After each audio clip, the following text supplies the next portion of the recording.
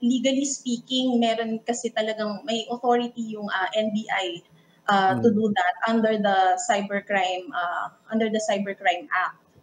At uh, mm. in fact, meron silang binuunang ang cybercrime division dito sa loob ng NBI. To look, but into, so, look into these cases. Yeah.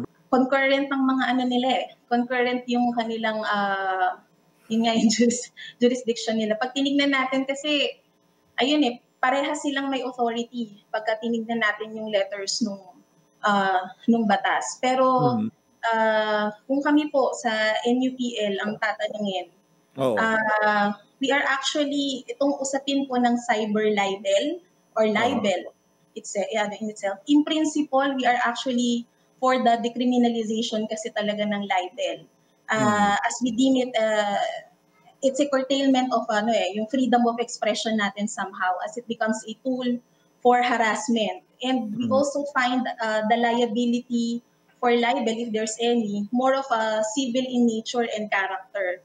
Uh, yung penalty po kasi nung imprisonment uh, under the Philippine uh, libel laws that we have, uh, sa totoong buhay, ginagamit siya to silence critical opinions eh, and um, uh, legit uh, and to silence legitimate forms of dissent. In mm. fact, kahit po yung United Nations as early as 2011, eh, dineclare na nila na uh, contrary to freedom of uh, expression yung mga Philippine criminal laws natin on libel.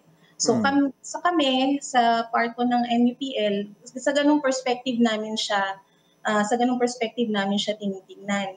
Kaya lang dito nga, no, sa kaso ni Senator Bongo, uh, ang posisyon naman namin dyan, if you are a public officer, you have to expect that you will always be under public scrutiny. Mm-hmm. At uh, after all, you know, public office is a public trust.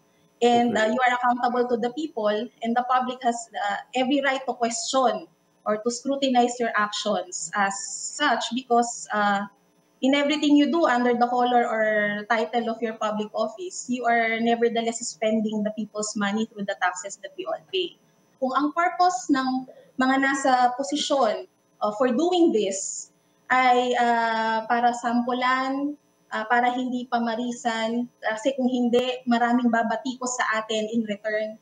Uh, yun yung problematic. May mm. problema talaga doon. It's it's uh, it's a constitutional issue and it's a basic human rights issue. Tinitingnan kasi namin siya as ano eh, as uh, a form of uh, harassment. Kaya mas uh, nag uh, inakyat namin siya sa sa court uh, in the form of a petition for amparo for the writ of amparo. Yung pagrerenta yung pagrerentag kasi ng mga nasa gobyerno laban sa amin sa ibang mga organisasyon na uh, involved in human rights advocacy ay uh, mas malaki yung ano eh impact niya sa amin dahil yun nga nabibigyan it opens ano uh, it opens the floodgates to either you can uh, you can face trumped up charges later on or worse be killed. Well particularly for the amparo petition of NUPL na kami po yung petitioners uh, ano pa po may tawag dito pending pa po ito sa uh, pending resolution pa po ito